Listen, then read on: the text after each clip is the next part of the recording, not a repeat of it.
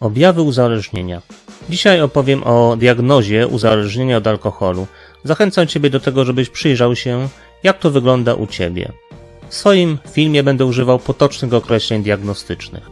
A więc zaczynamy. Do stwierdzenia uzależnienia potrzebujemy trzech spośród sześciu objawów uzależnienia. O dodatkowym warunku opowiem na końcu filmu. A jakie to są objawy? Przede wszystkim głód alkoholowy, upośledzona kontrola nad piciem, zespół abstynencyjny, czyli objawy abstynencyjne, zmieniona tolerancja na alkohol, zaniedbywania przyjemności, zachowań i zainteresowań oraz picie alkoholu pomimo wiedzy o jego oczywistej szkodliwości. Teraz przejdźmy do konkretnych przykładów, konkretnych objawów uzależnienia.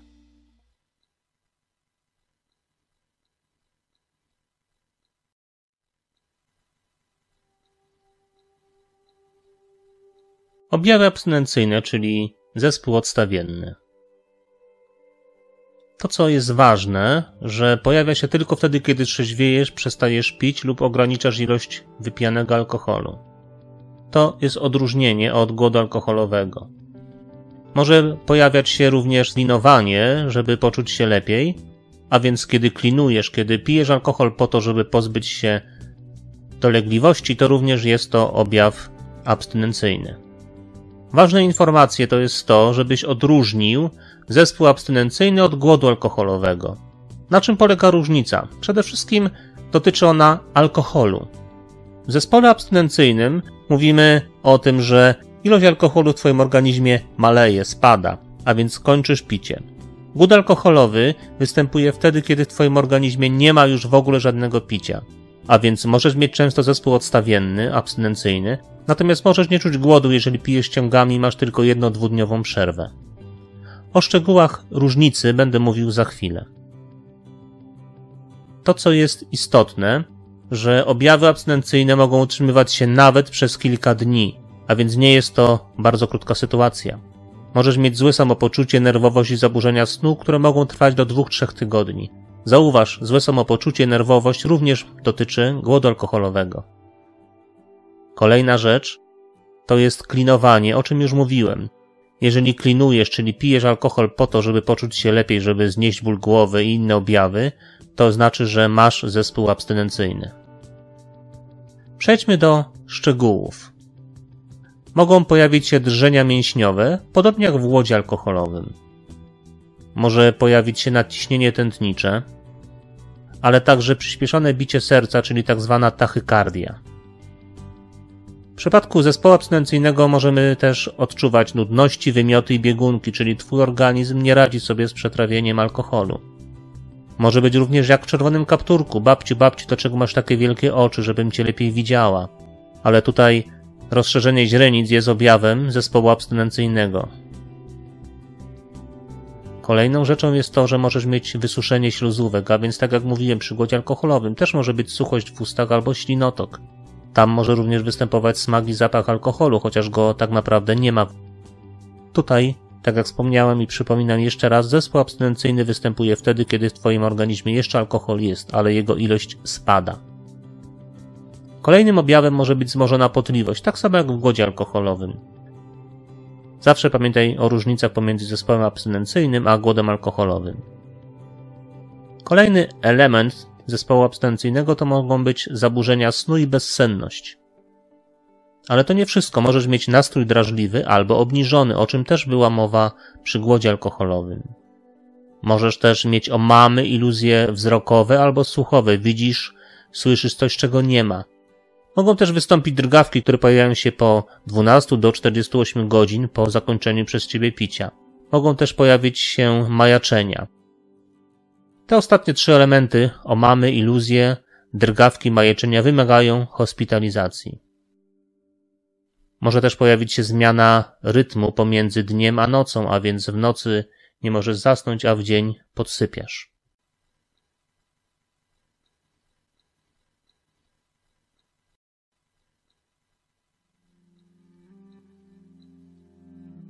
Ud alkoholowy, czyli silna, natrętna potrzeba spożywania alkoholu. Najpierw odpowiedzmy sobie na pytanie, czym jest głód alkoholowy. Jest to silne pragnienie, chęć bądź poczucie przymusu wypicia alkoholu. To, co jest bardzo istotne, że nie występuje ono nigdy, kiedy jesteś pod wpływem alkoholu. Dotyczy tylko tego czasu, kiedy jesteś w okresie abstynencji. Co to oznacza? Możesz nie zdać godu alkoholowego, jeżeli pijesz ciągami, jeśli przerwy między tym piciem są jedno lub dwudniowe, albo kiedy piłeś poprzedniego dnia i po prostu masz następnego dnia kaca.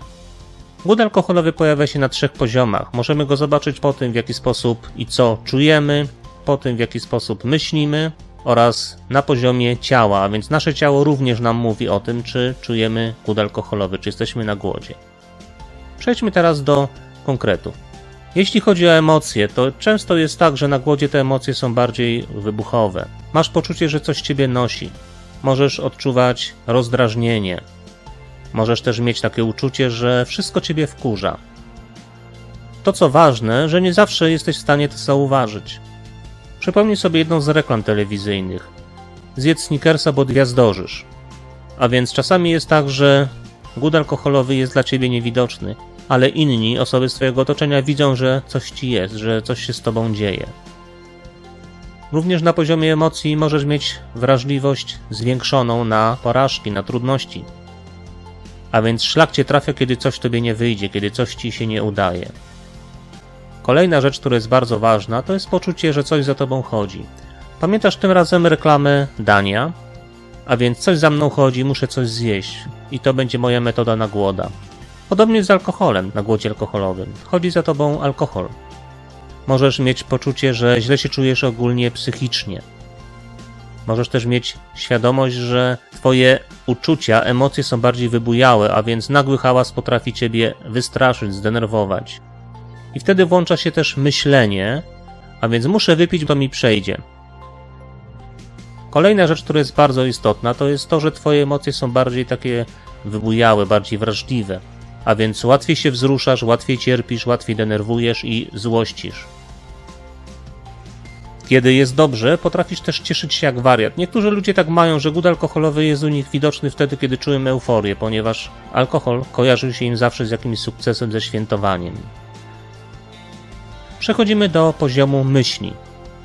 Mówiłem o uczuciu cierpienia, a więc kiedy jesteś na głodzie, cierpisz, to przypominasz sobie, że w podobnej sytuacji alkohol zawsze tobie pomagał, a więc, że również tym razem, kiedy wypijesz, to ci przejdzie i tylko alkohol jest w stanie tobie pomóc, co oczywiście jest iluzją. Możesz mieć też trudności w skoncentrowaniu swojej uwagi i mieć gonitwę myśli.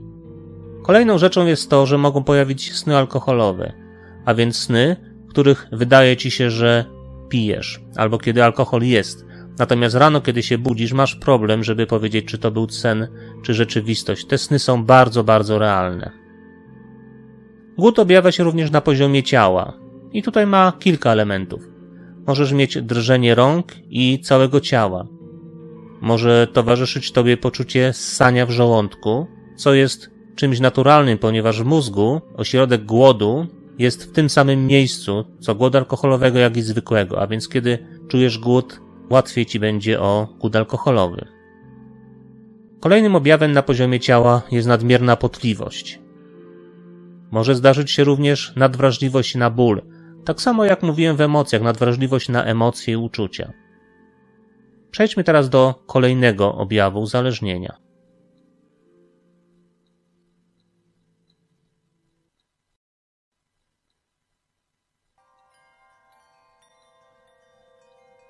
Upośledzona kontrola nad piciem. Co to oznacza? Żeby stwierdzić upośledzenie kontroli nad piciem, musi być ona potwierdzona. Pijesz w dużych ilościach więcej niż planowałeś. Pijesz przez dłuższy czas niż zamierzony. A twoje wysiłki, aby zmniejszyć swoje picie albo je kontrolować, są nieskuteczne. Omówmy teraz każdy z tych elementów. Ilość alkoholu, czyli pijesz więcej niż planowałeś. Planujesz wypić jeden kieliszek, a kończy się butelką. Często pijesz do dna, do końca imprezy albo do utraty świadomości. Planujesz, jak wspomniałem, wypić kieliszek, ale kończysz na całej butelce, czyli pijesz więcej. Jesteś na imprezie, dopóki jest alkohol. ale kiedy się kończy, idziesz dalej i dopijasz gdzie indziej, w domu albo na kolejnej imprezie. Robisz zapasy alkoholu, które wypijasz wcześniej. Na przykład planujesz kupić zgrzewkę piwa na weekend. Zakupy robisz w środę, ale już czwartek napoczynasz. I do piątku już tego alkoholu nie ma. Czas picia alkoholu. Chodzi tutaj o to, że masz problem z przerwaniem picia, a więc często twoje picie przeciąga się w ciągi alkoholowe, pijesz dłużej niż planowałeś. Planujesz wypić w piątek na weekend, ale kończy się całym weekendem. Kończysz picie w niedzielę, w poniedziałek albo jeszcze później. Czasem kończysz picie dopiero wtedy, kiedy jesteś w szpitalu, kiedy twoje zdrowie już nie pozwala tobie dalej pić.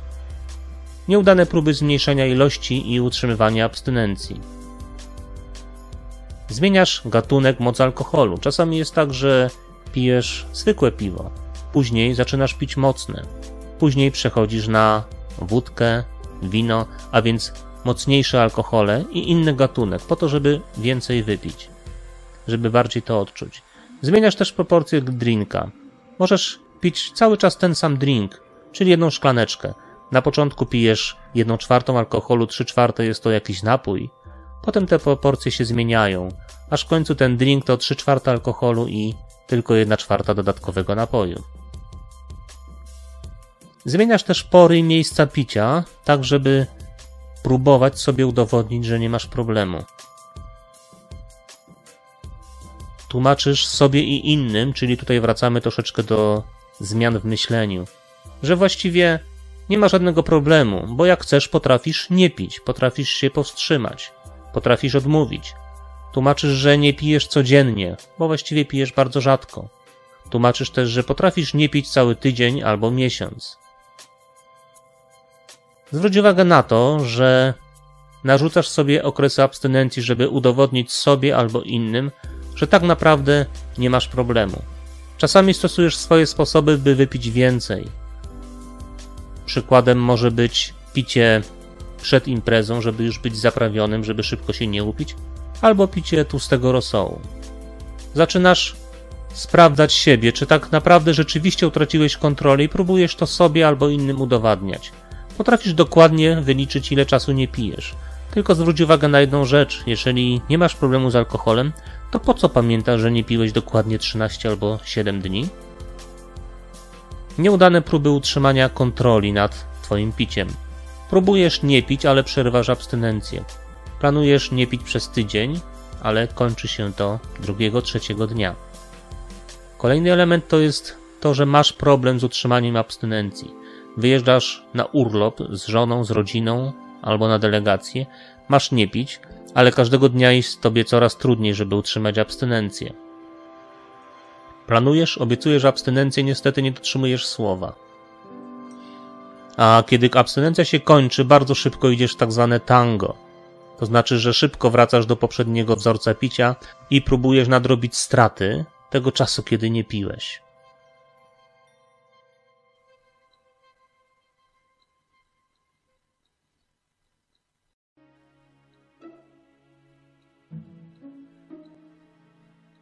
Zmiana tolerancji na alkohol. Na czym polega zmiana tolerancji na alkohol? Musi być ona potwierdzona poprzez konieczność przyjmowania istotnie wzrastającej ilości, tak to się ładnie nazywa. Ale tak naprawdę chodzi o to, że potrzebujesz coraz większej ilości alkoholu, żeby osiągnąć zamierzony efekt, czyli żeby poczuć szumek w głowie albo poczuć, że jesteś pijany. Chociaż oczywiście tolerancja potem zmienia się również w drugą stronę, o czym będzie za chwilę. Jakie są te dowody potwierdzonej zmiany tolerancji? Ta sama dawka alkoholu słabiej działa. Wspominałem, że musisz zmieniać rodzaj alkoholu, na przykład potrzebujesz mocniejszego piwa, albo piwo już na ciebie nie działa, potrzebujesz wina albo wódki.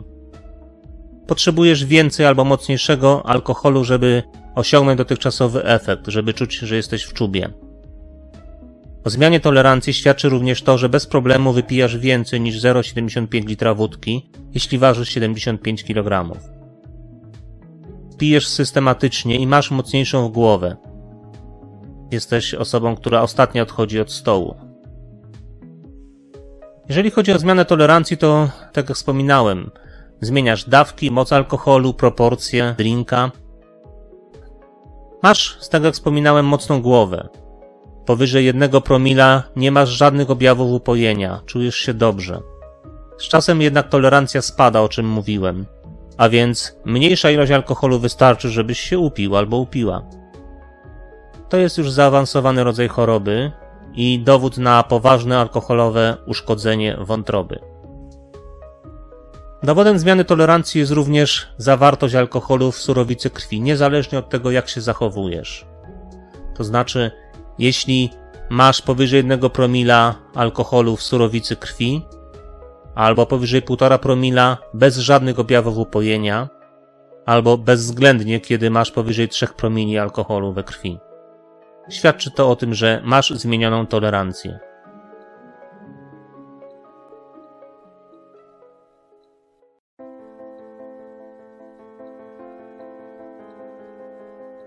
Zaniedbywanie przyjemności, zachowań i zainteresowań. Alkohol zajmuje tobie coraz więcej czasu oraz twoich myśli. Rezygnujesz z innych czynności, które porzucasz bądź ograniczasz w związku ze swoim piciem. Coraz więcej czasu poświęcasz na zdobywanie, picie, leczenie kaca. Wyobraź sobie taką sytuację. Idziesz rano do pracy. Jeszcze masz kaca po wczorajszym. Już w połowie pracy myślisz o tym, że wieczorem będziesz pić. Po pracy wychodzisz, idziesz na zakupy, kupujesz alkohol i potem pijesz. Zobacz, ile czasu skupiasz się na piciu zamiast na innych czynnościach, innych działaniach. Skupiasz się na piciu, a więc tak jak wspominałem, przygotowujesz się do picia, pijesz, a potem leczysz kaca i to się powtarza. W związku z tym coraz mniej angażujesz się w inne czynności niż samo picie. Rezygnujesz z nich. Rezygnujesz z kontaktów z ludźmi, z którymi nie pijesz. Skupiasz się na kontaktach z tymi ludźmi, z którymi piłeś. Stopniowo rezygnujesz z dotychczasowych działalności, spacery, rozmowy, hobby, sport. Do tej pory uprawiałeś sport, chodziłeś na spacery, teraz nie masz na to czasu. Teraz wolisz skupiać się na spotkaniu z ludźmi, z którymi pijesz, albo na samym piciu. I coraz bardziej inne rzeczy, inne czynności niż picie przestają ciebie cieszyć. Picie jest jedynym albo głównym sposobem spędzania przez ciebie czasu wolnego i czasu w ogóle. Pijesz alkohol według jednego bądź dwóch wzorców, albo tylko sam, albo tylko w towarzystwie, zawsze w ten sam sposób albo podobny sposób.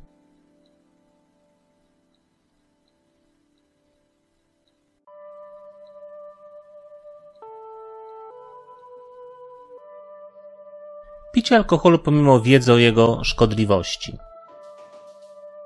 Pijesz pomimo tego, że wiesz, że picie w jakikolwiek sposób, w jakiejkolwiek formie tobie szkodzi. Lub też dla każdego byłoby jasne, że tak jest, ponieważ możesz nie mieć tego świadomości. Przejdźmy teraz do szczegółów. Te szkody mogą być wyraźne dla innych, niekoniecznie dla ciebie, a więc troszeczkę tak jak z głodem. Ktoś inny bardziej widzi te straty, widzi szkody niż ty. Dla innych są bardzo oczywiste. Albo byłyby oczywiste dla ciebie, gdybyś nie pił. Żaden sposób nie wiążesz swoich szkód ze swoim piciem. Kiedy tracisz prawo jazdy, za prowadzenie pod wpływem alkoholu, tak naprawdę winne jest picie. Natomiast dla ciebie ważna jest policja, która się uwzięła. Zobacz, spójrz na taki przykład. Czasami słyszę od pacjentów, że okej, okay, gdyby nie te pierdzielone psy, nie byłoby problemów. Nie bierze pod uwagę ten ktoś sytuacji, że gdyby nie pił, to policja by nie miała prawa go zatrzymać, a nawet gdyby go zatrzymała, nie zabrałaby mu prawa jazdy. Po pijanemu złamałeś rękę, pobiłeś się z kimś i oberwałeś. Okej, okay, złamałem rękę. Czy wiążesz to ze swoim piciem? Przecież być może w innej sytuacji, gdybyś był trzeźwy, do tej bójki by w ogóle nie doszło. Ponosisz szkody zdrowotne, w rodzinie, w pracy, pieniądzach. To są bardzo wymierne szkody, ale również mogą być mniej wymierne.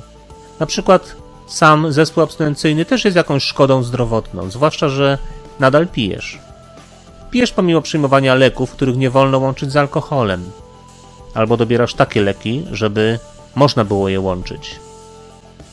To, co jest istotne, zaczynasz tracić znajomych przyjaciół z powodu swojego picia. To również jest rodzaj strat. Odsuwają się od ciebie dzieci, mąż, żona, partner, partnerka, rodzice. Łamiesz prawo. Jesteś karany za przestępstwo po wypiciu alkoholu. Pamiętam sytuację, kiedy pacjent miał sprawę o pobicie policjanta. Na trzeźwo nigdy tego nie zrobił, albo za zaatakowanie radiowozu. Szkodami są również długi, komornik. Pojęcie szkód jest bardzo szerokie. Może one dotyczyć utraty pracy, ale nie tylko, bo zobacz, ludzie, którzy mają działalność gospodarczą, nie mają pracy, nie mogą jej stracić, ale z powodu picia, z powodu złego samopoczucia, kaca, mogą tracić zlecenia klientów. To również jest rodzaj szkody. Szkodą może być osłabnięcie Twojej wiary, dla Ciebie zawsze to było ważne, a teraz przestajesz wierzyć. Nie potrafisz się już cieszyć, robisz się bardziej pesymistyczny. Szkodą jest również to, że postępujesz niezgodnie ze swoimi zasadami i wartościami. Jest to widoczne czasami, kiedy masz kaca moralnego, masz poczucie winy. Inaczej byś tego bez alkoholu nie zrobił. Zaczynasz dostrzegać problem ze swoim piciem, ale lęk przed jego utratą, przed zakończeniem picia jest silniejszy, bo nie chcesz cierpieć, czyli pijesz pomimo szkód.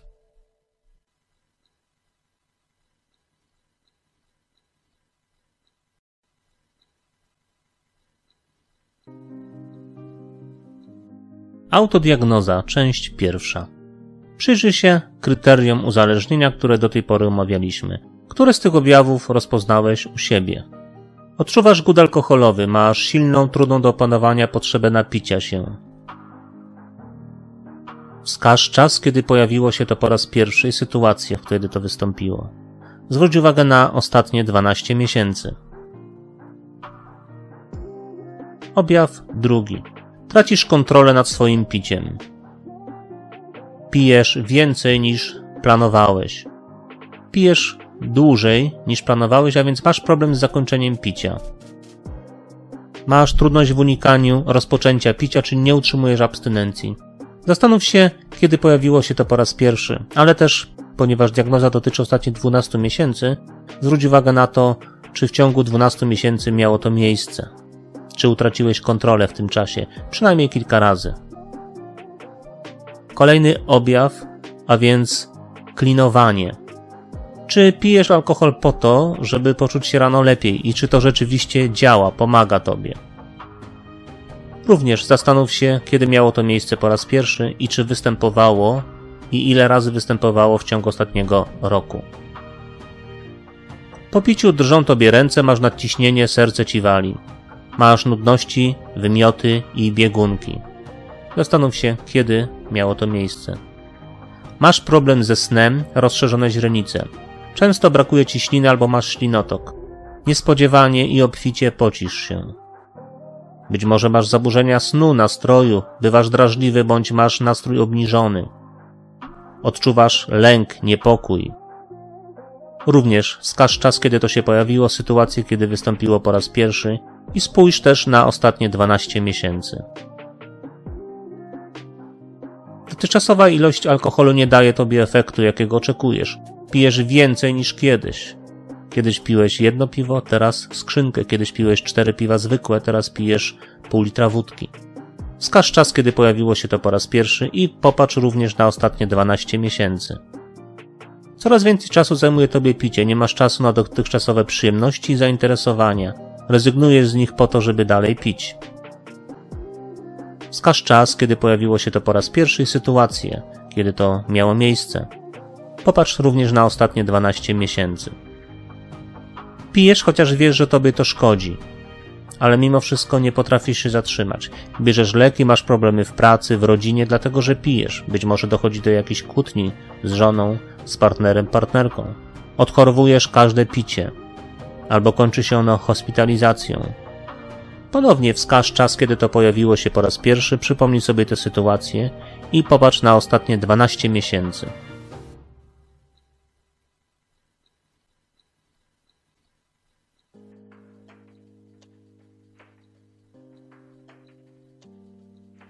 Podsumowanie autodiagnozy. Zastanów się, jakie jeszcze objawy u siebie zauważyłeś, które świadczą o Twoim uzależnieniu. Zastanów się, czego nowego dowiedziałeś się o sobie oraz o przebiegu swojej choroby. Czego dowodzi opracowany materiał, czy jesteś uzależniony, czy nie. Zastanów się również nad tym, co dotąd robiłeś, aby mimo występowania objawu uzależnienia nie zobaczyć narastania problemów? Czyli w jaki sposób unikałeś myślenia o tym, odczuwania i decyzji? Co robiłeś, co mówiłeś, aby ukryć przed sobą i innymi utratę możliwości kierowania swoim życiem oraz piciem? Przejdźmy teraz do pytań kontrolnych. Przeczytaj uważnie tekst z następnych slajdów. Zastanów się, pomyśl i zwróć uwagę na to, jakie objawy uzależnienia dostrzegasz u Marka.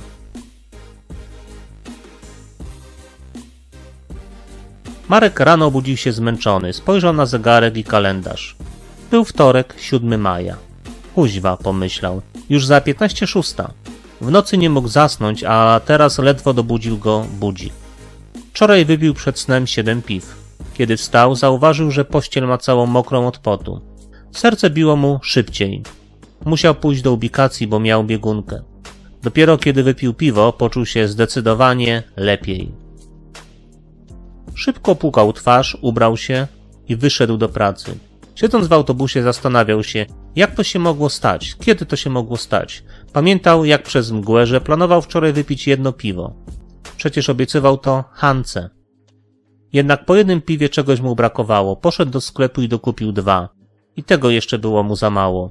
Więc poszedł i dokupił zgrzewkę kolejnych piw. I całe szczęście, że zostało mu to jedno na rano. Uratowało mu życie. Jadąc do pracy, Marek zastanawiał się, kiedy to się zaczęło. Jeszcze dwa lata temu pił tylko od święta. Na urodziny, imieniny i wesela. Trzy piwa albo pół litra w trójkę ze szwagrem i bratem.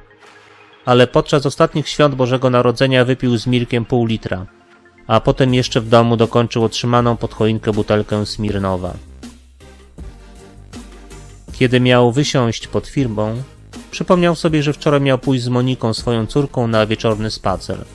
Miały spadać gwiazdy, a ona tak bardzo chciała to zobaczyć. W pracy strasznie mu się dłużyło. Nie mógł się skupić.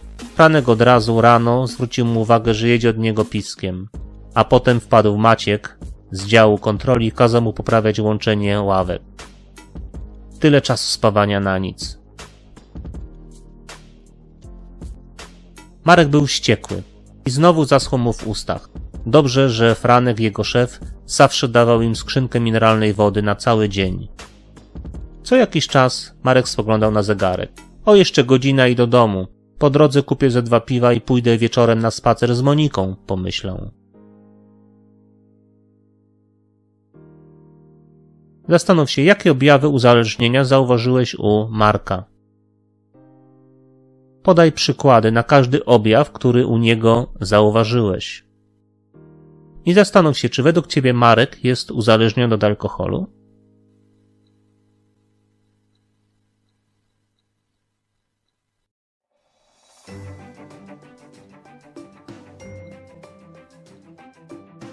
Zapamiętaj kilka ważnych rzeczy. Do stwierdzenia uzależnienia od alkoholu potrzebujesz trzech spośród sześciu jego objawów. Występują one przez okres co najmniej miesiąca bądź krócej, lecz w sposób powtarzający się w ciągu ostatnich 12 miesięcy. Jeżeli objawów jest mniej, ale występują szkody, przyjrzyj się szkodliwemu piciu alkoholu. Warto coś zmienić.